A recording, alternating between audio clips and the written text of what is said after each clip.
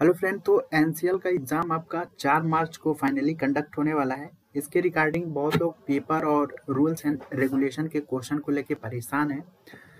तो इसका लिंक मैंने कमेंट बॉक्स में और डिस्क्रिप्शन दोनों में दिया है। यहाँ पे कुछ पेपर हैं, आप पेपर देख लीजिएगा। साइट पे आइएगा आप www.electricalcapsule.com पे। तो यहाँ पे एनसीएल पे जैसे आएँगे। तो एनसीएल के कुछ प्रीवियस ईयर क्वेश्चन आपको यहाँ पे मैंने अपलोड किया हुआ है साइट पे। जैसे कि आप यहाँ पे जैसे नीचे आएँगे तो यहाँ पे आप असिस्टेंस फॉरमैन मैकेनिकल और इलेक्ट्रॉनिक्स एंड टेलीकम्युनिकेशन का देख लीजिएगा।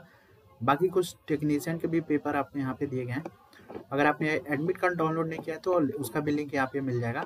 बाकी कुछ रूल्स एंड रेगुलेशन के यहाँ पे इम्पोर्टेंट एम सी क्यू यहाँ पे आपको साइट पे अपडे अपलोड कर दिया गया है। यहाँ से आप लोग जो है क्वेश्चन आएगा या नहीं आएगा इसके इसका कोई अपडेट नहीं है लेकिन uh, जो है सिलेबस में उन्होंने मेंशन किया हुआ है रूल्स एंड रेगुलेशन को लेके।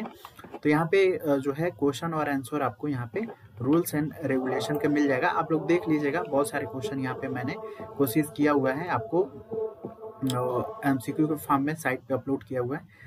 बाकी और भी कुछ जो क्वेश्चन या इंपॉर्टेंट रूल्स होंगे, वो मैं या तो टेलीग्राम पे या फिर साइट पे ही अपलोड कर दूँगा।